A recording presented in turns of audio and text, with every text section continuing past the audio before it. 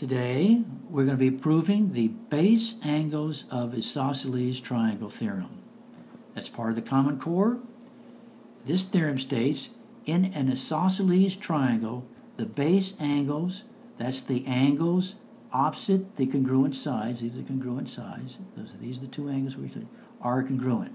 First thing is we do is make a sketch of a triangle ABC and we know that we have just stated right here that the uh, the opposite uh, in the isosceles triangle, therefore this side and that side are equal, as or congruent, as you can see here.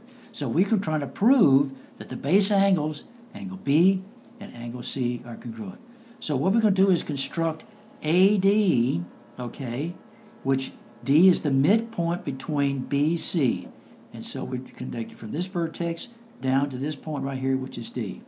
So now that we've constructed that, and you can see the strategy that's already laid out there is now is we're going the strategy is to make these two these two sides here, these two part triangles congruent, and therefore we can use these angles that would be the corresponding parts.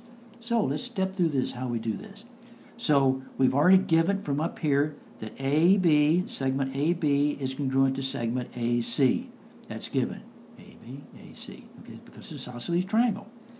And that BD and DC are congruent because that's a midpoint. So if it's a midpoint, it's been cut into halves.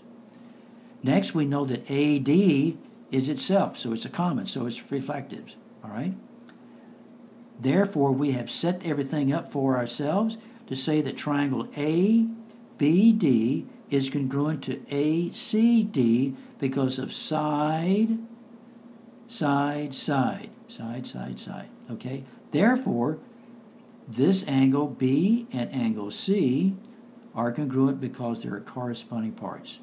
Therefore, we have now proven that in isosceles triangle, the base angles, these base angles that are opposite the congruent sides, are congruent.